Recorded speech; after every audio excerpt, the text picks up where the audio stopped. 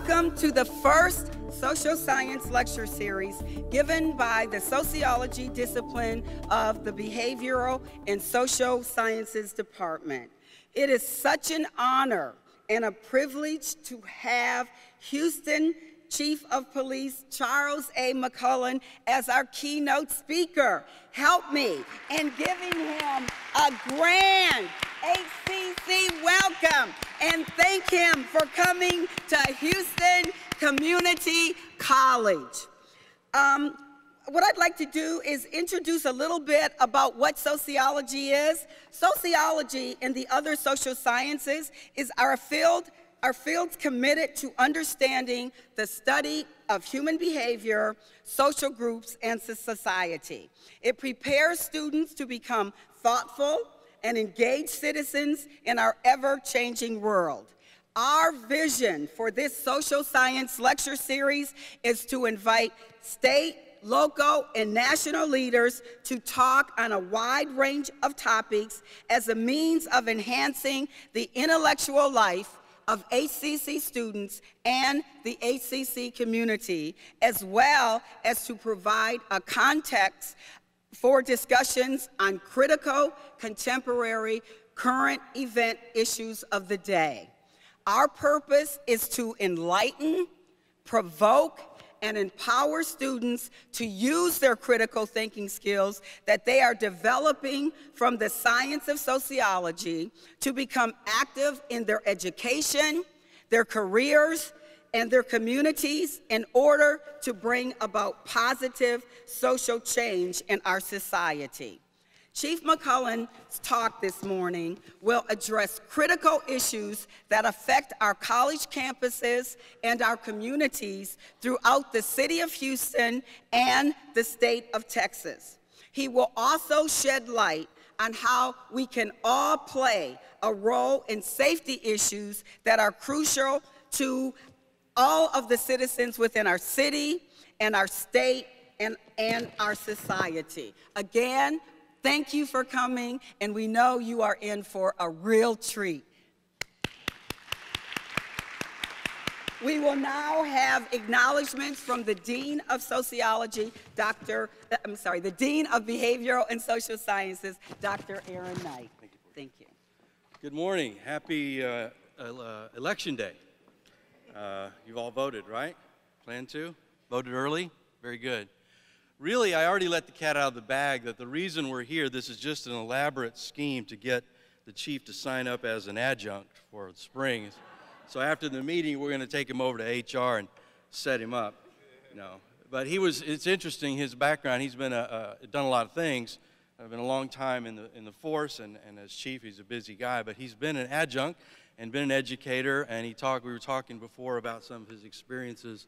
He was saying that one of his favorite professors, the thing that this professor would do is say, you can say whatever you want in this classroom, but you need to tell us where you got that information if you're putting forward uh, some kind of assertion. Where did you get that information? And that was kind of key to learning the way the social sciences tries to train the mind and train folks to engage in an informed way. So I thought that was very interesting that that resonated with him. He was saying, My favorite instructor really emphasized that. I think a lot of our instructors do that too.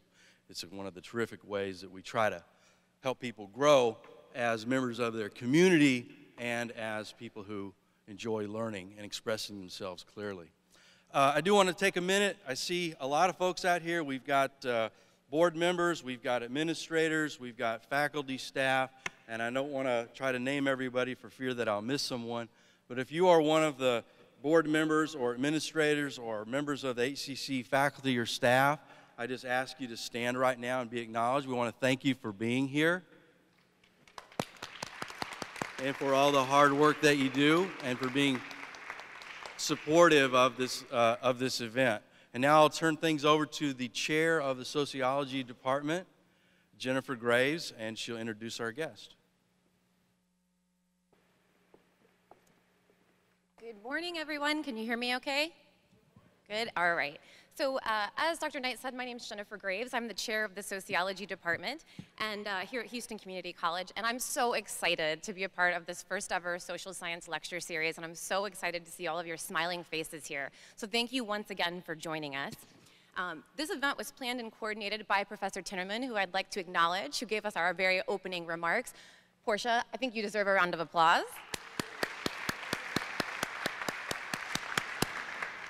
So this morning we are honored to have Chief Charles McClelland, Chief of the Houston Police Department, as our guest and speaker.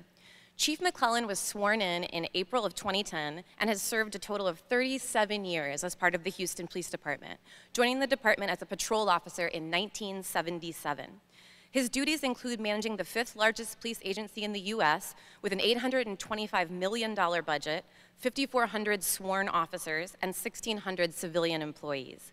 He's a proponent of community-based policing and a strong believer in the use of technology to make uh, crime reduction happen. He's dedicated his whole entire adult life to public service and to improving the quality of life for everybody in Houston. He's a gradu graduate of the Federal Bureau of Investigation's National Academy, the Federal Bureau of Investigation's National Executive Institute, and has received numerous awards and commendations. But perhaps most notably, uh, Chief McClelland holds a Bachelor of Science degree in criminology and a Master of Arts degree in sociology. If you've ever wondered what you can do with a social science degree, you need look no further than this stage today. And without further ado, please join me in giving the Chief a warm HCC welcome.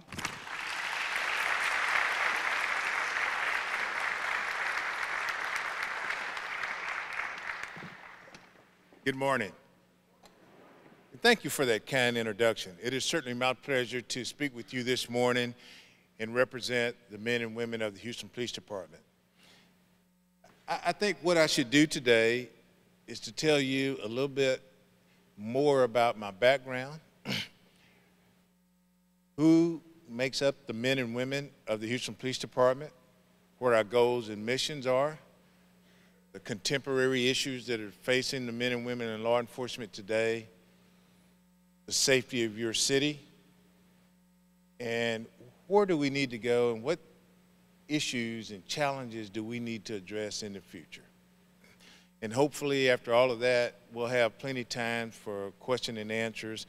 And I certainly want to uh, feel your questions when it comes to body cameras, body camera policy, all of those things, because this is important. First of all, a, a, little bit about myself. I grew up in a very, very small town, uh, approximately 200 miles from here, Center, Texas. It's in the eastern part of the state, small town of less than 5,000 folks. Uh, that's where I was born and raised and graduated high school. Now, because of my age, and I was born in 1955, you can only, uh, most of you have only read about small East Texas towns such as Center. But it was no different from any other southern town uh, in the 1950s and 60s uh, with all of the vestiges of Jim Crow. Uh, until I was in the fourth grade, fifth grade, I went to a segregated school, not because I chose to, because I had to. And when our school district integrated, integrated in segments, elementary first, middle school, then high school, I was the oldest of five schools, five kids that integrated the Center Independent School District. Now, all of this was happening in the 1960s, and we all know that our country was in a little bit of turmoil then. Uh, this was pre-civil rights legislation, and uh, some of the things that uh, were going on at that time. It was a very, very uh, controversial time, uh, very segregated community that I grew up in. And when I say all the vestiges of Jim Crow were alive and well, I'm talking about all the vestiges of Jim Crow, where signage was in your face. White only, colored only, uh, you couldn't drink out of the same water fountain, couldn't eat in a restaurant, uh, all of those things. But I will say this because of my family and the way that we were raised, uh, we didn't let that be an obstacle. We had to find a way to overcome those challenges, and we knew that one day things would be better. So my mom always stressed education. Education would be the key that unlocked the door of opportunity. Because that was the one tangible thing that once you obtain it, no one can take it away. So she thought, and she was right, that education is the great equalizer. That no one is going to feel sorry for you because you went to an inferior school, dilapidated school, had less resources uh, than someone else. Uh, someone else had a head start in life, had a better life than you. You had to find a way to overcome those challenges and make up the difference. And she was right. Now, fast forwarding uh, to my career, I started off as a young patrol officer uh, in the police academy back in the 1970s and was a street officer and worked my way up through the ranks. That was challenging, but I've had a great career. Didn't plan my career uh, to be a police officer. Uh, didn't plan on being the chief of police, but I always remember what my mom says. Actually, I was recruited into the police department by my brother-in-law, who grew up in Houston, Texas, and was a Houston police officer at the time. But I always put myself in a position that I was able to take advantage of an opportunity. Work real hard, um,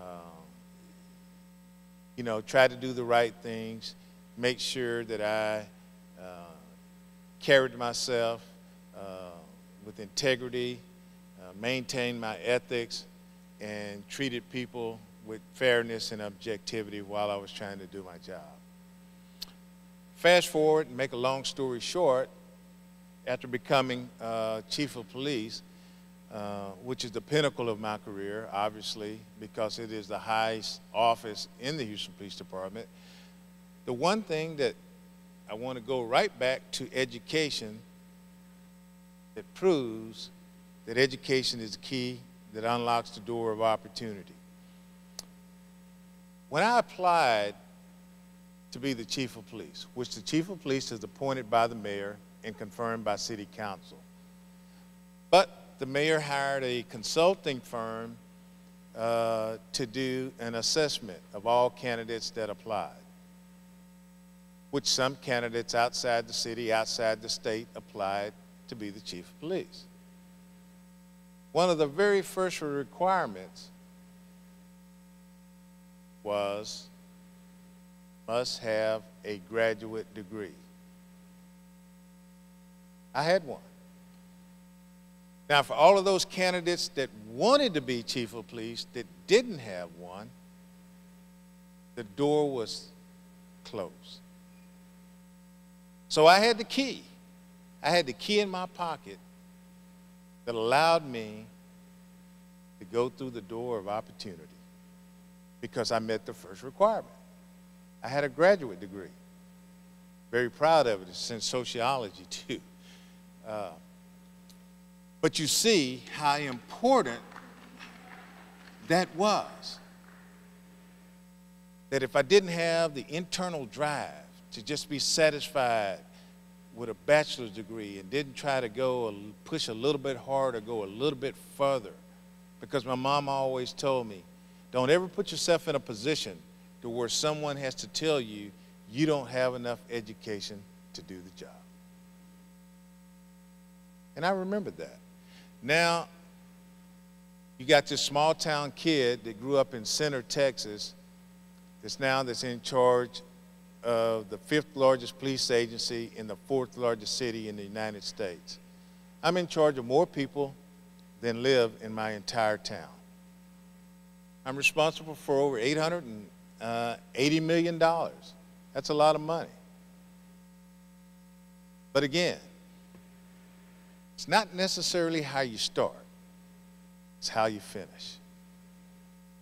And many of us have trials and tribulations getting to that point. Now, a little bit about the Houston Police Department. It's, you heard the stats. We have over 5,000 police officers, uh, you, you, know, almost 1,500 or so uh, civilian personnel uh, that makes up the fifth largest police agency in the United States. We have the responsibility of trying to protect two and a half million people spread out over 660 square miles. It's our goal and our mission every single day to keep two and a half million people, along with their property, safe every single day.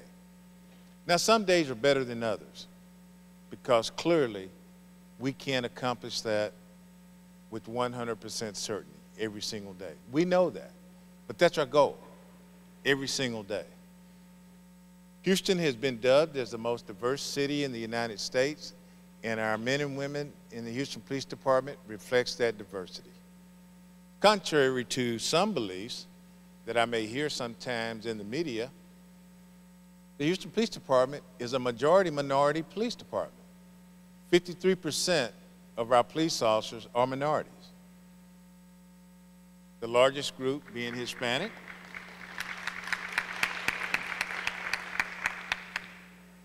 the largest group being Hispanic, followed by African Americans, Asians, Pacific Islanders, Indians, uh, Arabic, others. All of those make up 53% of our police officers. Now, almost 18% are women.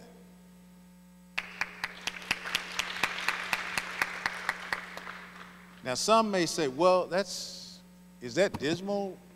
where does that stand compared to what? The national average is 10. So I'm very, very proud of the diversity that we have. We have over 1,200 of our men and women uh, who are bilingual, speak other languages. And when you hear folks say there is a disconnect between the police and the community, well, look at the empirical data. The men and women that we hire come from this community.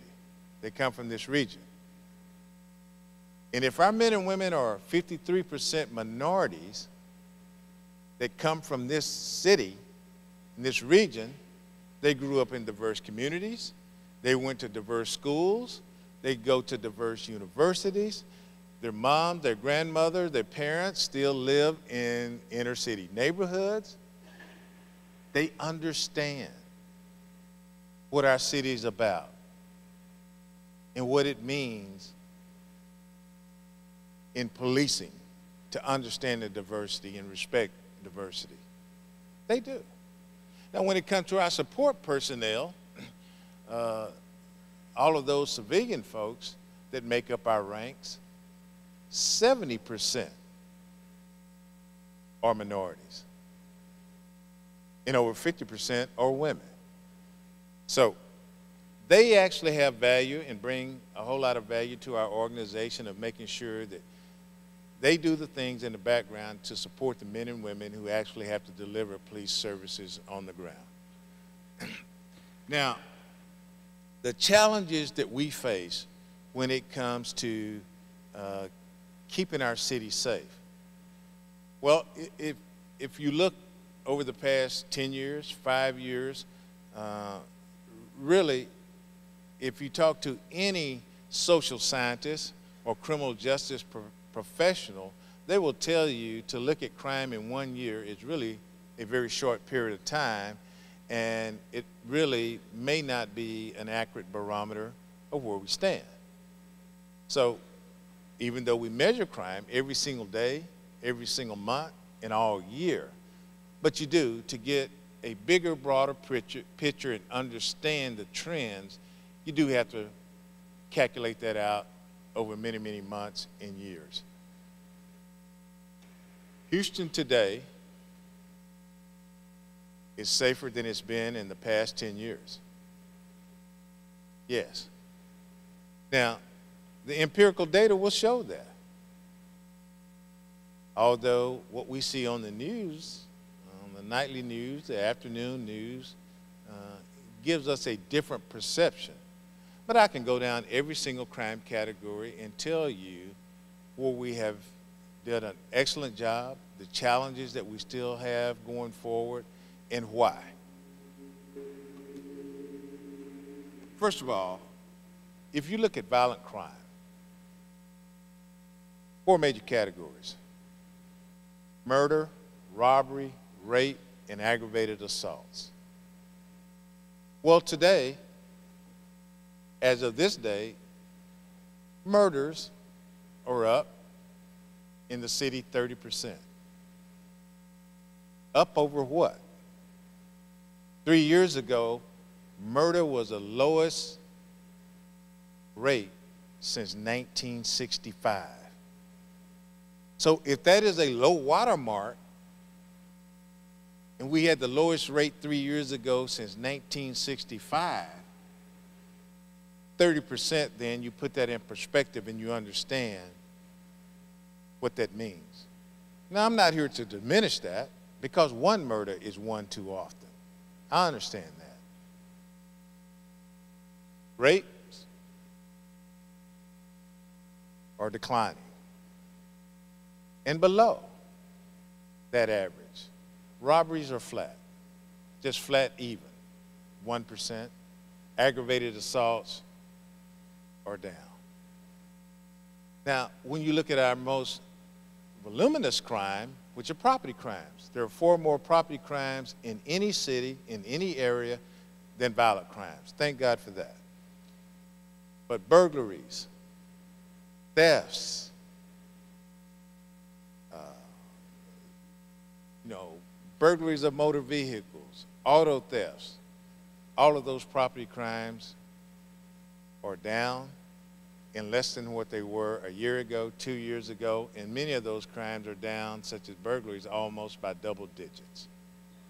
So that is the report card that the men and women of HPD has produced. Now, here are the conditions that they produce those numbers under.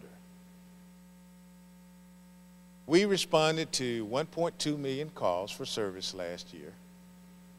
We had probably another 50, 60,000 encounters on traffic stops. But that's a tremendous amount of calls to respond to with only 5,000 officers. We have done independent staffing studies that shows that the Houston Police Department is woefully understaffed. Well, how so, Chief? Well, let me just tell you. In 2002, the Houston Police Department had the highest number of police officers we've ever had. That, that is our high water mark. 2002, we had 5,500 officers. I have almost 300 less than that. The city has grown by 400,000 folks. Well, others say, well, Chief, what, what are you doing with all of that $880 million you got? Hire some more people. 94% of our budget is personnel costs salaries, health care benefits, workers' compensations, uh, all of the things that it just takes to run a police department, personnel wise. Everything else, equipment, police cars, uniforms, come out of the 6%. That's how frugal we are with your tax dollars. Now, when you're talking about crime in general and the challenges that we have as a society, what causes crime?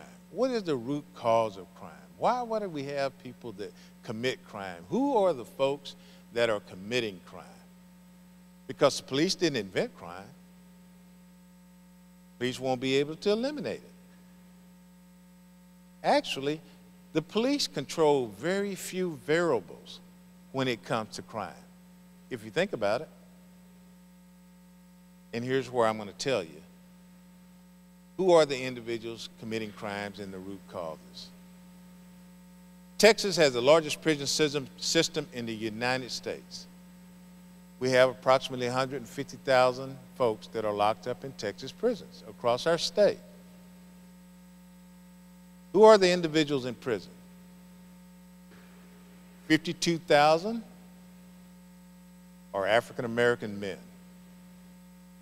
49,000 are Hispanic men.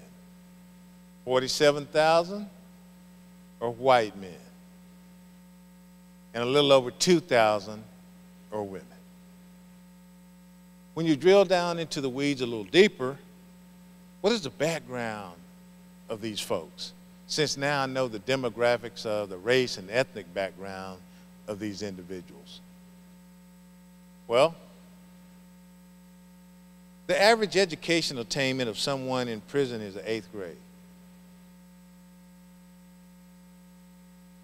The average IQ is 90. The average sentence given is 17 years.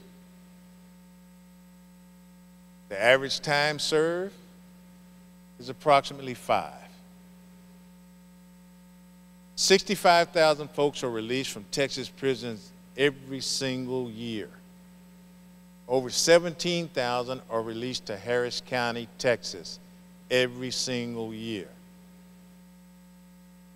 Who are the individuals being released? Overwhelmingly minority men with no job skills, no educational skills, and the only thing that they have added to the resume is convicted felon. You have individuals that are unemployable at 25 years old. Police did cause that. What caused that? What caused a young man or woman to drop out of middle school or freshman in high school? Well, I'm not posing that question to you for an answer because I know. It's a combination of things. Poor parenting, failing schools, lack of job opportunities, substance abuse, homelessness, mental illness. All of those things add the factors that contribute to crime, poverty. Well, what are we going to do about it? That's why you're here today. Folks, on a nonpartisan basis, from the federal government down to the local, local level, are talking about criminal justice reform. Because people that really understand the finances know that the criminal justice system across America, not only in the state of Texas, can't sustain itself under these type of statistical numbers. You can't afford to build enough jails and prisons to do mass incarcerations. Now, let me just tell you, I'm not soft on crime. But I do understand that we can't lock our way out of this situation. I want to be smart on crime. And we have to have a smart, efficient criminal justice system. There's a reason why we have jails and prisons because there's some people that need to be there. And there's some people that need to be there for a long time. Mandatory sentencing and drug laws have certainly uh, adversely impacted poor minorities, without a doubt. Can't argue that. We know that. Now, when we're talking about the cost of what it takes to house one inmate for one year in Texas, depending on who you ask, but the number is going to be somewhere in this range, between fifty and sixty thousand dollars a year. That's what it costs. I don't know how much it costs to go to Harvard, but that may get you a semester. It certainly will get you a semester at HCC and a car and something else to go along with it. Here's my point. The state of Texas spends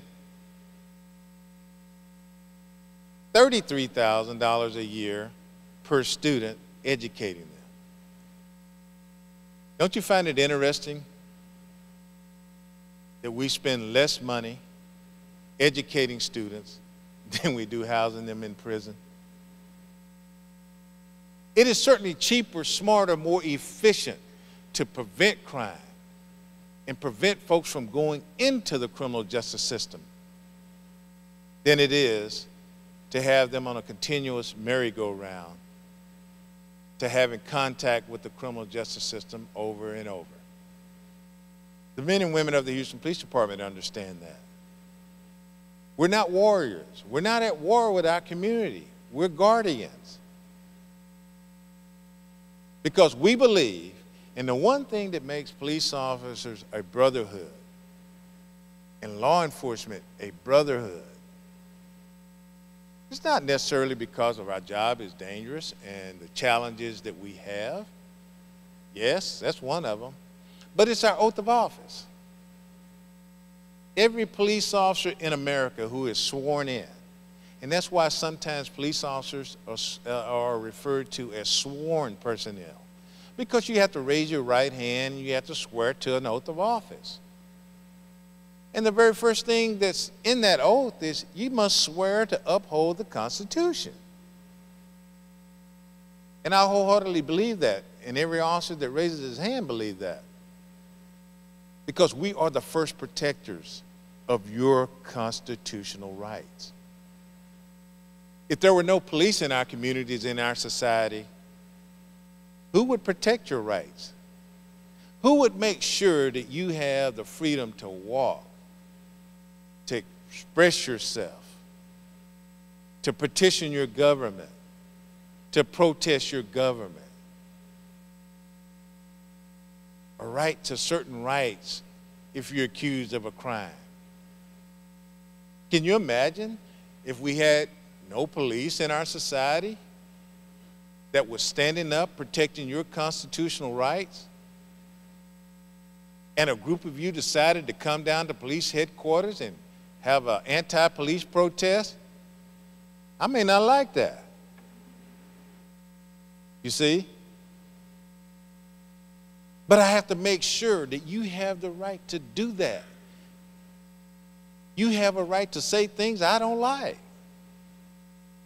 You have a right to say things that I don't agree with.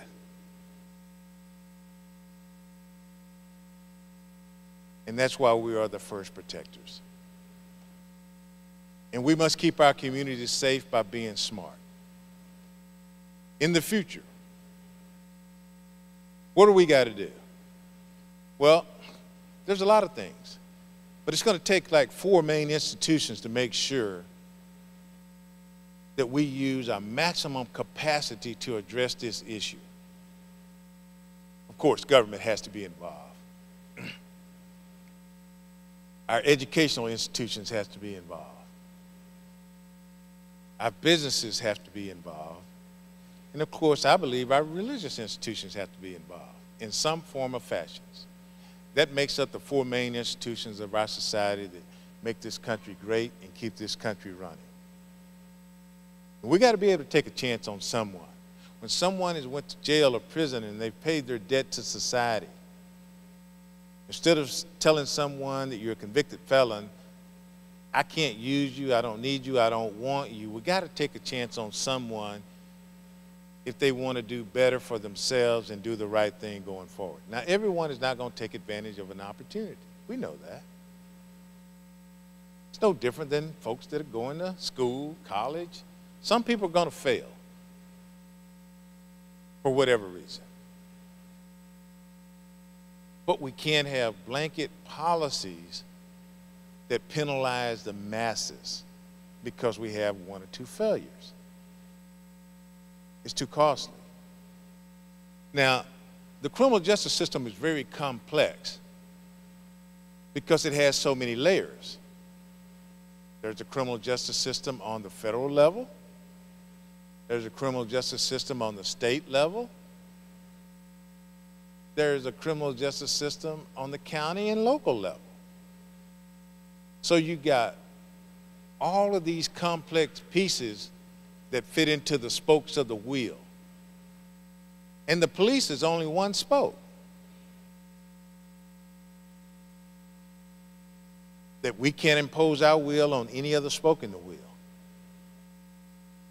You have law enforcement, you have prosecutors, you have the courts, judicial system, corrections, uh, parole, probations, Uh, you got all of these pieces that fit into our criminal justice system. Now, how does one enter the criminal justice system?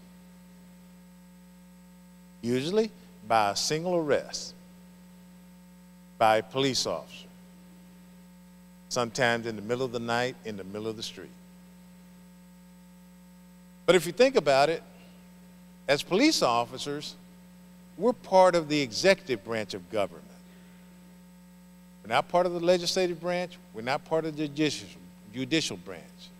They've never allowed Chief McClelland to make up any law, any rule, any city ordinance. I can't. Don't have the authority to do so. But I am required to carry out any duly laws that is enacted by the legislative branch at all levels. So if city council enacts a city ordinance, I got to enforce it.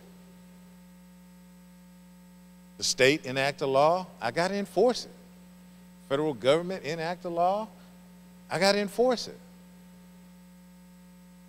A police officer does not determine the guilt or innocence of anyone in this country. It's not our role. It's not within our capacity. Only a judge or jury can determine your guilt or innocence. Even though the police officer introduces you to the criminal justice system, there's other parts that, that are interdependent. And it's designed that way to try to keep fairness, objectivity built into the system. Now we know that's in theory.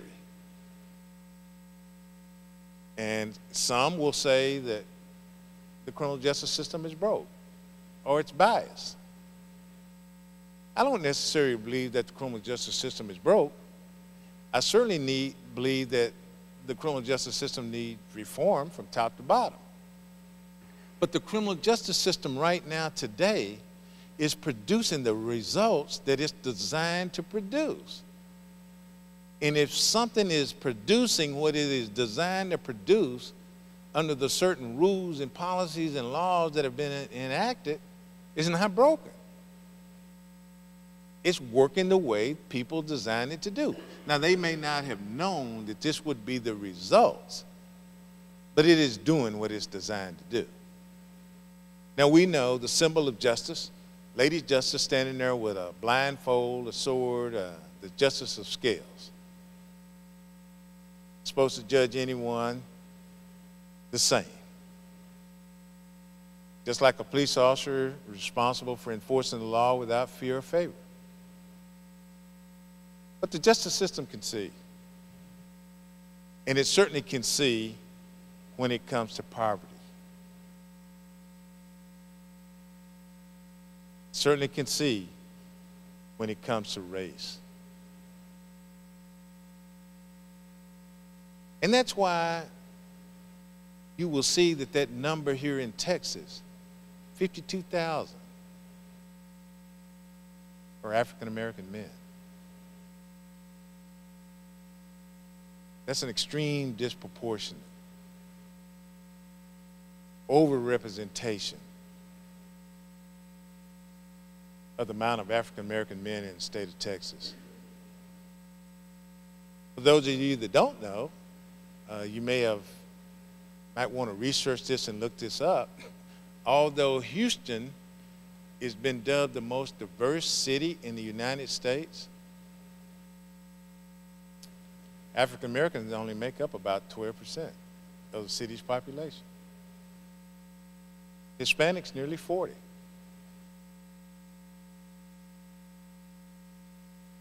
So why do we have this overrepresentation of minority men in the criminal justice system? Because of all the things that I've just told you. Now, people will always say, and they will use examples. Well, Chief, do you enforce the same laws in all parts of the city equally? Yes, I do. And let me give you an example. There's some things that I can find in some parts of the city that I can't find in other parts of the city. And it's a fact. River Oaks, one of the most wealthiest communities, neighborhoods in this city. Do I believe people in River Oaks buy, steal, cheat, and use drugs? Yes, I do. But I spend less resources in River Oaks when it comes to police resources and police personnel. Because I can't drive down any streets in River Oaks and openly find someone selling crack cocaine on a street corner. I can't. Does that mean that people in River Oaks don't smoke crack? No. But they're not selling it on the corner, they're not using it on the corner. Now, there are, there are some other communities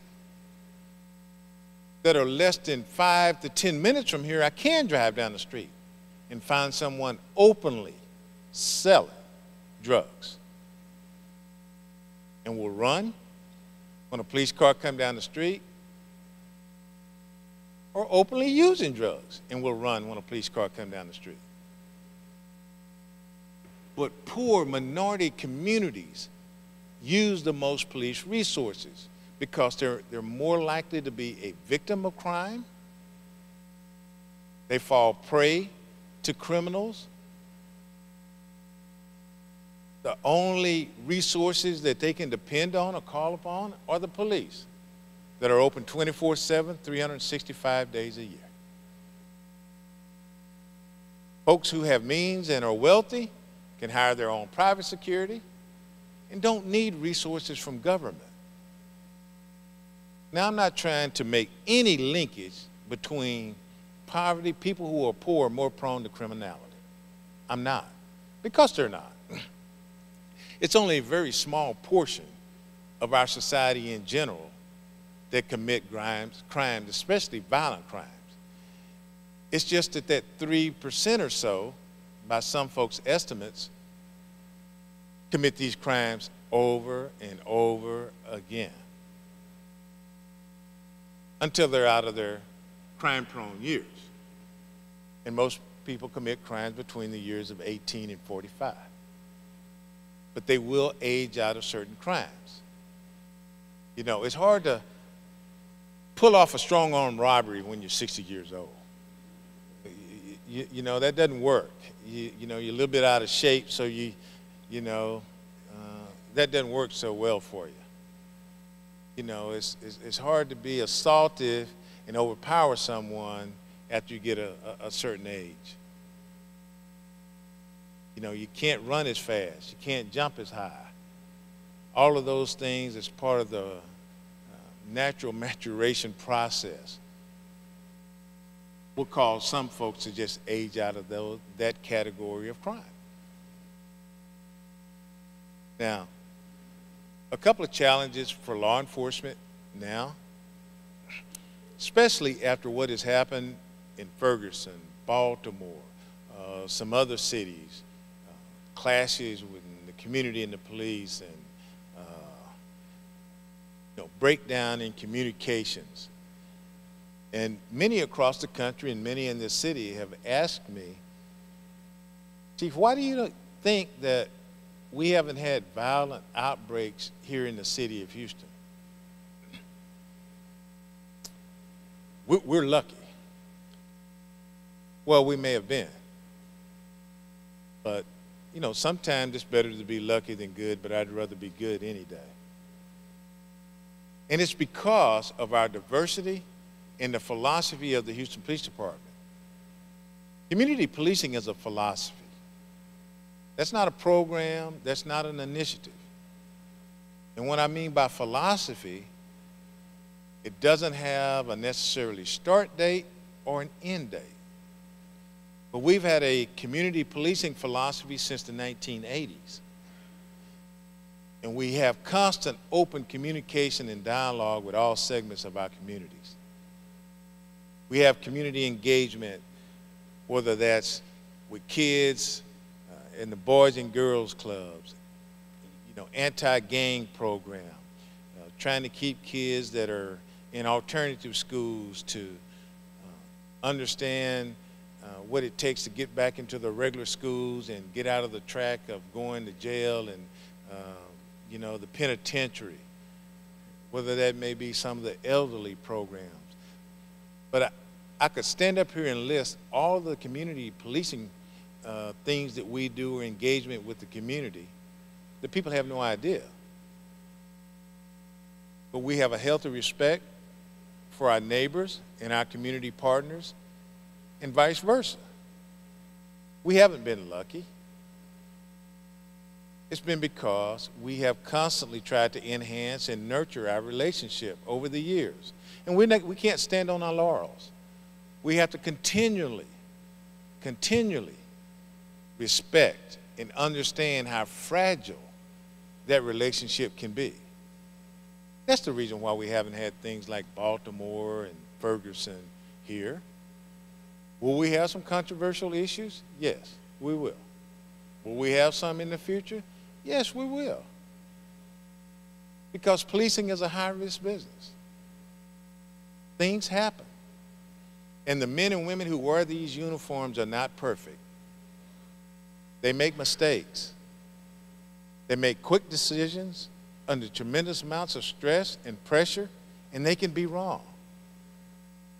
Doesn't mean that their acts or their action was illegal, but they could just be flat out wrong. Because we don't have a special place to get police officers from. They come from society.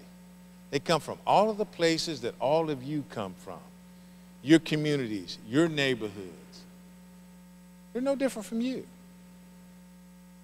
And just because they are a trained police officer does not mean that they doesn't understand or feel fear. They do. But, as General Patton once said, the difference between a coward and a hero is what the hero is willing to do versus what the coward is not willing to do. Can you imagine putting on your, donning your uniform, 10:30, 11 o'clock at night, putting on your utility belt, your gun belt, your bulletproof vest, going out here in the middle of the night in a police car by yourself, stopping people at 2, 3 o'clock in the morning. And some of those folks uh, are, are, certainly not the most upstanding citizens that are riding around out there at night. And I don't want to stereotype people driving down the street at 3 o'clock in the morning. But sometimes those cars are occupied by three, four individuals. Sometimes folks in those cars, the cars are wanted for some previous crime. And we take our freedoms for granted especially in America, in the United States, because we've always had it. But while all of you are sleeping comfortably or uncomfortably, wherever that may be, there's some guardian, there's some protector that are driving down the city streets of our neighborhoods trying to make sure that you stay safe. And nowhere else in America or any other country can you just dial three digits 911 and a representative of government will show up at your front door 24 hours a day, seven days a week, 365 days out of the year. A representative of your government will show up to try to resolve and address whatever issue you may have. A wonderful country. And when we think about freedom, freedom is not really free. Just like our men and women in the military that have paid a tremendous price with their blood for us to enjoy some of our freedoms here, so have the men and women of the Houston Police Department. Since our inception in 1841, there have been 113 police officers, Houston police officers, killed in the line of duty, trying to make sure that you enjoy the freedoms that we're so accustomed to in this country. Just think about that. They paid a tremendous price. They're not coming back. Their families are always going to miss them. But again, that's the difference between a hero and a coward. They're willing to do it. No one made them do it. They understand their risk. And although we all understand, one of the things, besides our oath of office, that binds all of us together is our philosophy in law enforcement. Because I could give up my life before the end of the day in the line of duty. I could. It could happen. But I know and I feel comfortable that the ideas and principles that I swore to, that I raised my hand and swore to, that will never die. Because long as there's one Houston police officer left behind, they're going to carry out those same ideas and principles that I believed in. So in that sense, you can never kill what I believed in. My beliefs will live on forever. Body cameras. I think this is something that's necessary across the United States that's going to improve our profession, make our profession more accountable and more professional. Body cameras is a poor substitute for community policing. Three years ago, at a news conference, I made the statement that at some time in the future, I believe that every first responder, every uniformed police officer in America will have a body cam at some point in time in the future. People thought that that was a far-fetched statement at the time. It was really kind of outrageous. But that was prior Ferguson, prior Baltimore, prior some of these other egregious events that have been caught on videotape that have been committed by police officers. But does anyone doubt that that is a realism now? I think now people are going to look at law enforcement agencies. If you don't have a camera, why not? And we're about to implement body cameras in the Houston Police Department.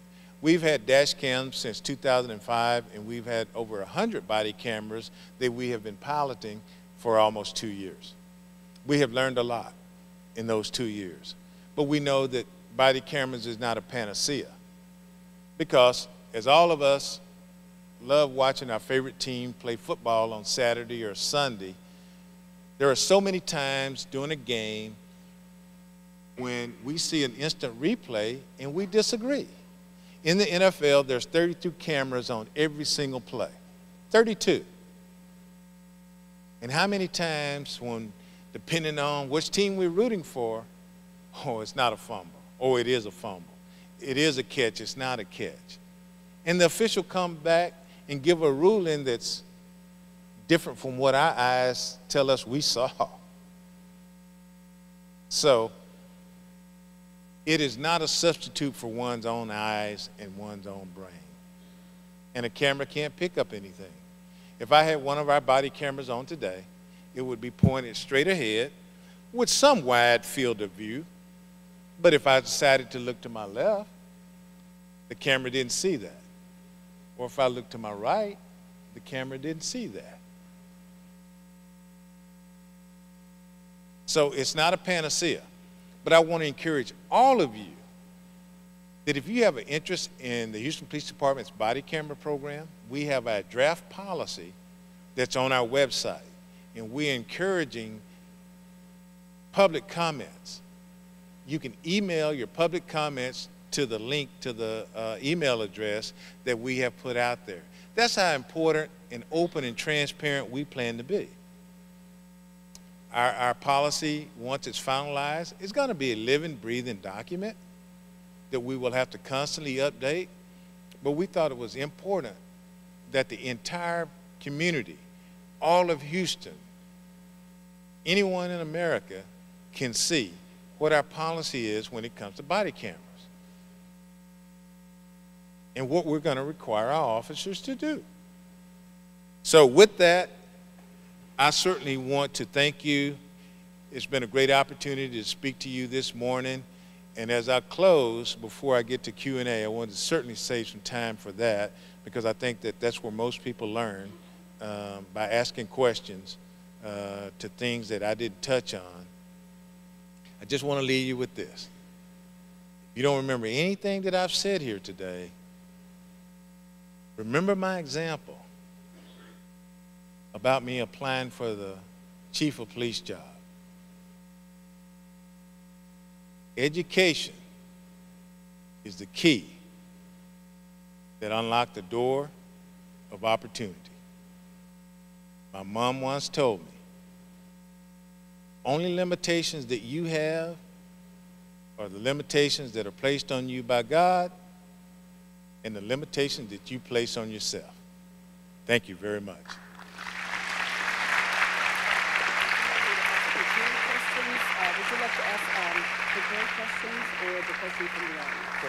Thank you, Chief, for uh, visiting with us today. And uh, I appreciate you telling us about the open carry. Uh, I, I, get it. We're, we're going to have guns on campus, whether we want it or not. However, uh, do you think a duel is the best action for, uh, I'm thinking someone who's suicidal and wants to be uh, in the headlines for uh, mass murder.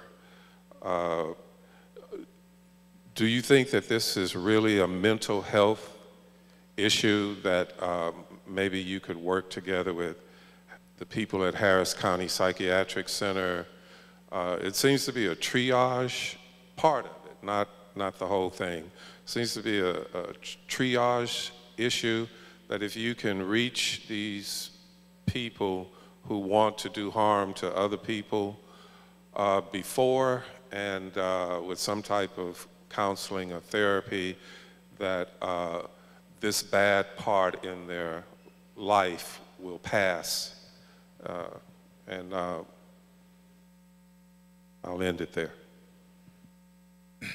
All right, thank you for your question. If, if I understand this question correctly, it's dealing with uh, some of the mass shootings or killings we've had and surrounding mental illness, suicide, and some of the causes for that. First of all, let me just say this. One of the reasons that we have so much gun violence in America, because we have so many guns. I've never seen a gun go off that didn't have a hand attached to it. I mean, that's the bottom line. There's 311 million people in the United States, and there's 350 million guns. So every single person can have one, and we got some left over for uh, those of you that want two or three. when it comes to folks that create this carnage of mass killings, yes, some of it is because of mental illness. Some of it is just because people or evil, and they want to make a statement. They're dissatisfied with their life, their plot in life, but, but a great deal of it is because someone is in some type of mental health crisis, and that's one of the things that this state and most other states have cut funding for mental illness. And that's why we also need to look at gun reform. What can we do to make sure that folks that are suffering from mental illness or in some type of mental health crisis don't possess a firearm?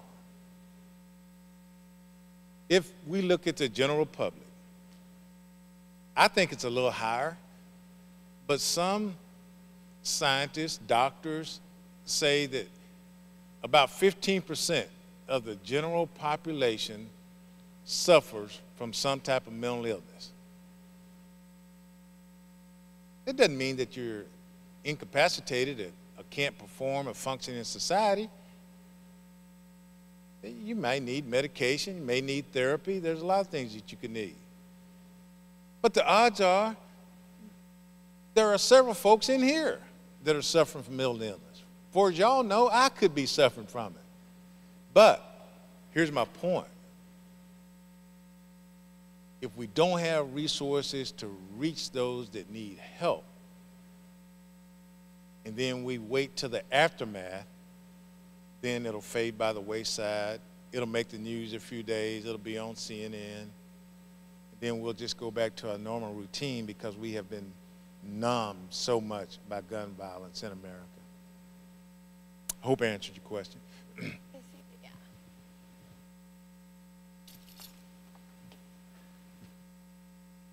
Good afternoon, and thank you.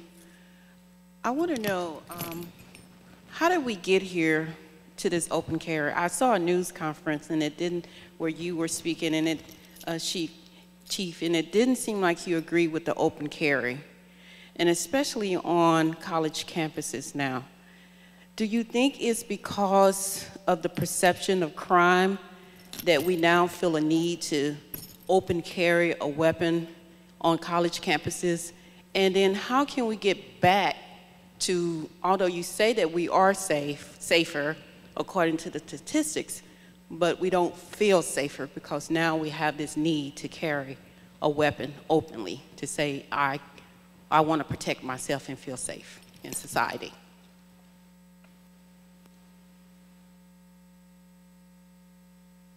Thank you very much. That's a very good question, and certainly I expect a lot more of those tomorrow night. I oppose open carry. I oppose college campus carry. Woo!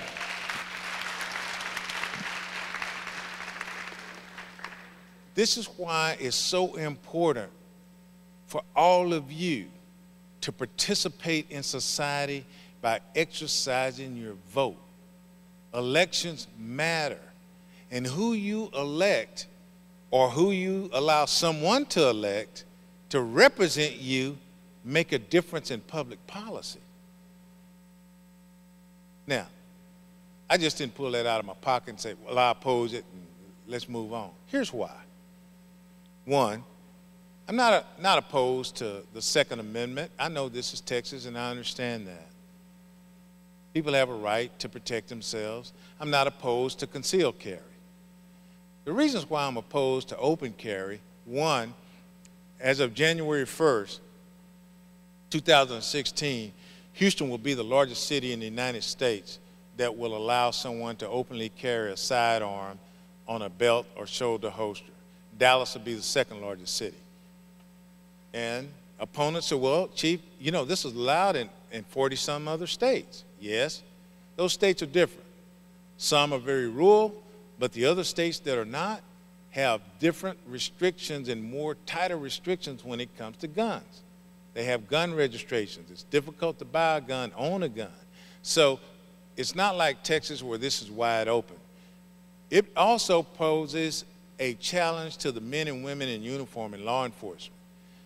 Now, when my officers respond to a disturbance call with a firearm, which they do routinely all the time, how are they supposed to know the good guy from the bad guy? What am I supposed to do when someone's afraid and get frightened and see somebody in Walmart, Target, or Kroger's carrying a gun and then they decide to call the police? If someone is walking up the steps of a financial institution or a bank openly carrying a gun, uh, am I also supposed to stop them and check them out or what? What are we supposed to do? I lobbied against this. Unfortunately, folks in Austin didn't listen to me and other big city chiefs. But this is a recipe for disaster. Now, not that I believe that people who have a license to carry a gun are going to turn into criminals. No, I don't believe that. Here's what I, I do believe that, that will happen, and one time is too many. Someone carrying a gun openly now has brought a weapon into an environment to where some other criminal is there and he sees an opportunity to walk up behind and take a gun from somebody. He didn't have to go out and buy or steal his gun. Someone brought it to him. Two, if something happens while you're openly carrying a gun, a crime is being committed, are you going to be compelled to act? Are you going to be compelled to intervene? Because I got this six shooter on my side now? I don't know. But that could happen. And then someone innocent get hurt, including yourself. Police officers are trained to deal with these situations all the time, confronting armed gunmen. But the public is not. You know, and it takes hundreds, hundreds of hours to train police officers when it comes to firearm safety. And you're going to tell me somebody can take a handgun safety course for a couple of hours and now you're ready to walk around with a gun strapped to your waist? I don't think so. In the fall of 2016, college campuses will be transformed because college presidents and chancellors are going to have to come up with rules in allowing someone to do this. I think it's a bad idea. Our educational systems are for learning, and that's where our focus should be. You shouldn't have to worry about your safety while you're here uh, at school or anywhere else, but you certainly shouldn't have to fear that a fellow student may be armed to the T, that may be suffering from mental illness, decide that this is going to be the day, and it may drive fear. fear.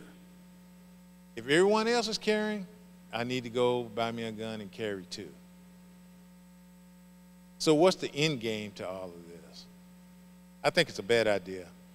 And I think the social experiment is going to fail and it'll prove this.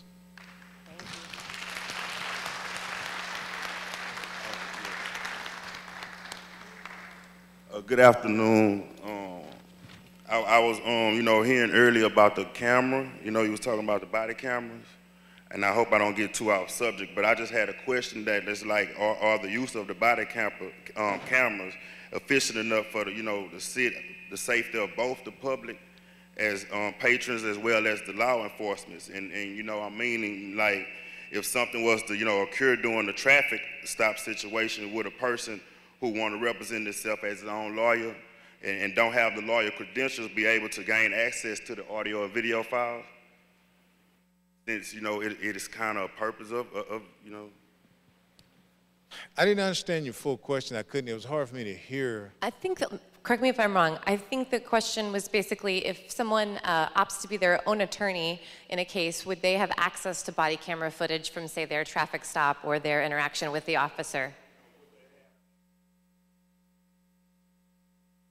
Yeah, the, the footage from the camera, would that be available? Okay, uh, I got part of that. Maybe this will answer the question. The devices and the body cameras that we plan on using, the officer cannot edit or delete. Uh, won't have that capability. And if the video is viewed by the officer or anyone, it leaves a digital footprint. It will tell the time, date uh, that the uh, video was reviewed. And videos have to be reviewed uh, they have to be reviewed for evidence for court cases, and there's a reason why. But the officer has no control over the, we don't edit videos, period, and we don't delete videos that have some type of evidentiary or, uh, uh, uh, criminal nexus. Two, I don't know if this was part of the question, but when will the officer be required to turn the video on and when will the officer be required to turn it off? we don't have the ca capacity of, of any device to where it's on all the time. A battery life wouldn't last. But we don't want that anyway because officers have privacy rights too.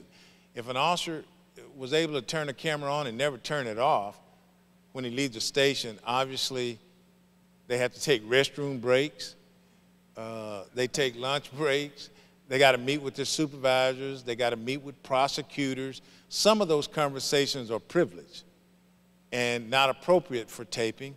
Two, there's other times when uh, it's not appropriate to tape someone. uh, juvenile suspects or juvenile crime victims, you wouldn't videotape a small child that's been the victim of a sexual assault or an adult that's been a victim of a sexual assault or a criminal informant that is giving you information or intelligence and may be afraid of retaliation. You know, the elderly lady that lives on the street that want to tell you about the gangbanger that lives down the street or the guy behind her selling drugs. You, you, you, don't, you don't take those type things. But what we will require is if the officer decides to turn the video off, it can be a limited number of situations that they can do that, and then they must put in writing and make a report why they did so and what the justification was. The videotape is no different from any other evidence. It's no different than a knife, gun, DNA that we collect at a crime scene. All of our crime scene evidence is stored in our property room, so you would have to go through the normal channels to see that video or get a copy of that video. You would have to get a defense attorney. You can file for an open records request and represent yourself but it's not something that we will just hand out and issue out. Yeah, you can file open records requests for video, but state law limits the situations where you can get a police video. So you're not restricted by the Houston Police Department, you're restricted by state law. Hi, I'd like to thank you for being uh, the you know a police officer and everything in your service. But um, my question is, you know, as a uh, a CHL holder, I believe in concealed carry as well. And um, I also come to school and I also have to deal with that fear of people coming and wanting to kill people. And my question is, do we have to open carry at school? And um, when will we know what our rights will be as far as carrying in school, as far as, you know, that thing goes? I'm getting a little starched, and I know it was about open carry, but I didn't catch the last part. Essentially, the, can you clarify about the open carry law that goes into effect in January and the concealed carry on campus law that goes into effect in August? And when will uh, students know what their rights are in terms of carrying guns and what their fellow classmates' rights are in terms of carrying guns? Okay, she's right. It, it takes, for campus carry, it's August of 2016. But the law requires that the university must come up with a policy and a procedure for each individual campus. That's not something that's under the purview of the police. For example, colleges and universities that have dormitories, I think they have to provide gun lockers. And there are some places that university presidents and chancellors can declare as gun-free zones. Hopefully that's the classroom. Uh, but they have to come up with a plan and, and submit that. And it, it, it's, it's not up to the police. So most universities are working on it now. Uh, I just read an article yesterday or a couple of days ago uh, about U of H is trying to craft their policy right now. Thank you for personally coming up here to HCC. It shows a lot about your character. We appreciate it. My question necessarily doesn't have to do on a so much on a local level, but it more on a federal level. Earlier this year, President Obama was discussing about prison reform. Now, if that was to be implemented on, on a federal level where it was brought down to the states, how would Harris County go about doing that? Because I know Harris County is a mandatory uh, county where for example, if someone has a large possession of drugs but has no violent history, they get a maximum sentence because of the drugs. Would Harris County, um, I guess what I'm trying to say is, would they oppose it or would they be willing to adjust to the accommodations of the federal level? That, that's a good question. If we have criminal justice reform on the federal level when it comes to especially drug sentencing laws, judges will be able to do their job. And they can look at the individual as an individual and make a risk assessment of how the, the danger or the risk that you pose to the community to determine your sentence, your bail, all of those things. Judges want this because it gives judges the discretion. Judges don't like mandatory sentencing laws because they can't look at the individual anymore.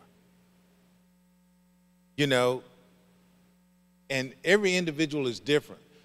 Is this some young person that made a mistake, needs some type of diversion in education when it comes to illegal drug use or possession? Is this an individual that has a substance abuse problem that needs treatment? Judges can do that when all of these mandatory sentencing laws are, are lifted. And they can use their discretion to take an, on their own individual risk assessment. And, and that's where the criminal justice system will start to work better. And will judge that individual on an individual basis and not on a lot of other factors that it has in, in the past. So it is designed to make sure that the most violent and the ones that pose the most risk to our communities stay locked up. And ones that don't should not. You know, there's, there's several thousand folks in the Harris County Jail right now that can't make a $500, $500 bond. They haven't committed a violent crime. They got caught with small amounts of drugs. And most times, if someone came to them with an offer to plead guilty, if you can get out of jail today, you're going to do that. But they don't think about the lifelong consequences. If I plead guilty to a felony, class A misdemeanor, or whatever, what has that done to my life? I can't hold any professional license. I can't rent an apartment. I'm not going to be able to get a job. So it has some lifelong consequences.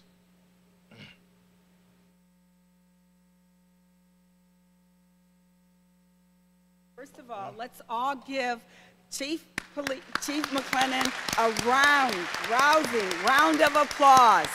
We thank him so much for coming to HCC, and I think that he has addressed many issues that students, faculty, staff, and administrators have. This concludes the lecture, the Social Science Lecture Series 2015. We are appreciative. We hope you have learned much about crime and where and how the Houston Police Department operates, as well as other topics in his discussion, and we appreciate all of you for coming. We'll see you again at the next Social Science Lecture Series. Thank you very much.